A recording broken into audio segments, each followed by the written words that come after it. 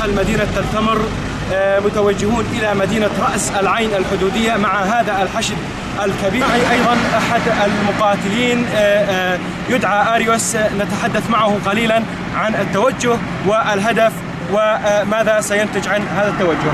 مرحبا بك أريوس. إلى أين أنتم متوجهون؟ وما هدفكم من هذا التوجه؟ وماذا ستجنون من هذا التوجه؟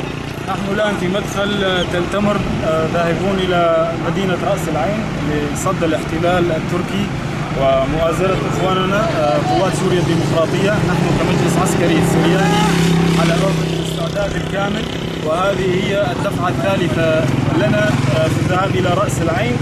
وإن شاء الله عزائمنا قوية والروح المعنوية الرفاقية لدينا كبيرة جدا وسوف نقوم بالدفاع عن مدينة رأس العين ومدن شمال شرق سوريا بكل بسالة وكل ما يتطلب من منا بقوة وعزم.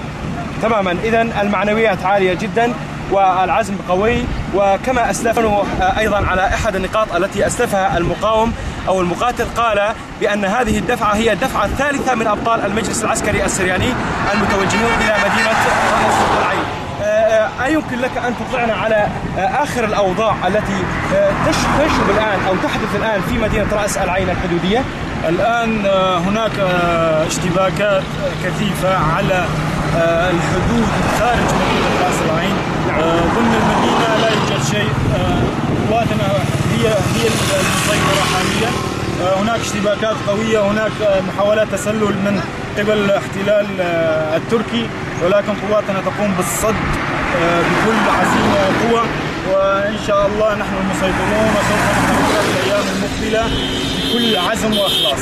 إن شاء الله. إذا أنتم متواصلون في هذه الأثناء أو في الأيام الثلاثة الماضية مع قواتكم قوات المجلس العسكري السورياني المراقبة على حدود مدينة رأس العين. هل أطلعوكم بآلية الوضع الداخلي وتلك الإشاعات التي تقولها القنوات الاحتلال التركي عند